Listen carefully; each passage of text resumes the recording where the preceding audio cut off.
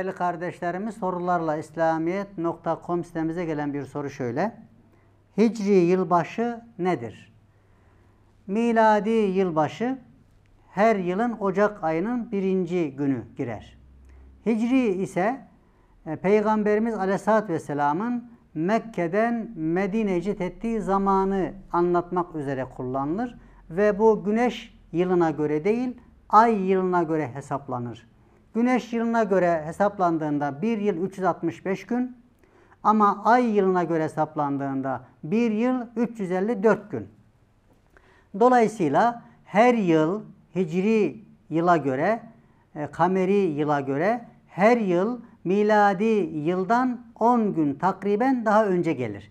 Böylece Müslümanlar her Ramazan ayını bir e, önceki yıla göre 10 gün daha erken, erken başlatırlar. Bunun en güzel özelliklerinden birisi Müslümanlar bir senenin bütün günlerinde oruç tutma fırsatı buluyorlar ve bütün günlerinde hac etme imkanı oluyor. Yani bu yıl diyelim e, hangi ayda e, hac yapıldı e, veya e, Ramazan ayı tutuldu. 10 yıl sonra bunu hesap ettiğimiz aşağı yukarı onunla çarptığımızda 100 gün daha erken olacak. İşte 20 yıl sonra 200 gün daha erken olacak. 30 yıl sonra 300 gün daha. Dolayısıyla her yıl 10 gün geri geri gelmekle hem bütün mevsimlerde Allah bize oruç tutturmuş oluyor hem de bütün mevsimlerde ümmeti Muhammed'e e, hac mevsimi yaşatmış oluyor. İşte Peygamberimiz Aleyhisselatü Vesselam'ın e, hicretini esas alan ve bugün Müslümanların hicri yıl olarak kullandığı ay bu özellikleri taşıyor. Peygamberimiz Aleyhisselatü Vesselam'ın Mekke'ye hicret ettiği yılda Hicri yılbaşı olarak kabul edilmiştir. Hicri birinci yıl olarak ve ona göre de ümmeti Muhammed her yılı bir bir sayarak bugüne kadar gelmişler. Şimdi bir Müslüman her kameri yılın yani hicri yıl dediğimiz ay yılının Muharrem ayının birini hicri yıl olarak kabul ederler. Bu Muharrem ayının birinci gününde bir Müslüman kendisini manen hicret ediyor gibi görebilir. Ben dünü bitirdim, bugüne hicret ettim. Bir yıl bitti, ikinci yıla hicret ettim. Nasıl Peygamberimiz Aleyhisselatü Vesselam Mekke'de İslam'ı yaşatmıyorlardı. Müslümanlara zulmediyorlardı. İslam'ı daha güzel yaşamak, Allah rızası için İslam'ı anlatmak üzere Mekke'den Medine'ye hicret etti. Ben de bütün günahlardan, bütün hatalardan sevaplara, ibadetlere hicret ediyorum. Artık haramları terk ediyorum, helallara hicret ediyorum.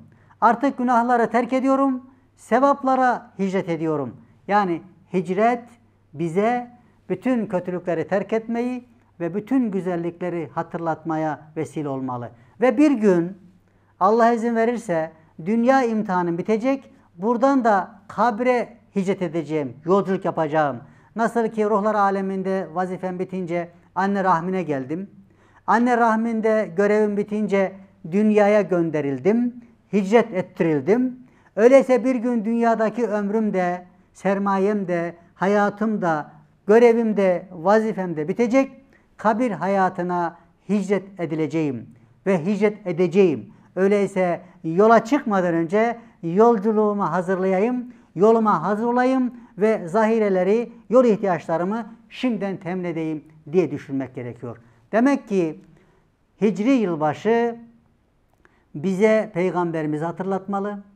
Peygamberimiz gibi yaşamaya vesile olmalı ve bir geçen yılın bittiğini yeni bir Allah'ın bize ihsan ettiği yeni bir yıla girmek üzere hicret etmek üzere olduğumuzu bize hissettirmeli ve bundan sonra gideceğimiz kabir hayatına hazır olmamıza vesile olmalıdır. E bu anlamda bir Müslüman ister Hicri birinci yılı kutla, ister Hicri 1500. yılı kutla, isterse Hicri yılbaşını kutla, isterse her günü kutla. Mübarek olsun. Her günün kutlu olsun, mutlu olsun. Yeter ki yeter ki Müslümanca, dindarca, peygamberce olsun. Yoksa her günün niye kutlu olsun kardeşim? Cehenneme götürüyor seni. Sana zehir enjekte ediyor. Niye mübarek olsun diyelim? Onun için neyi kutladığımıza nasıl kutlayacağımıza ve niçin kutlayacağımıza dikkat.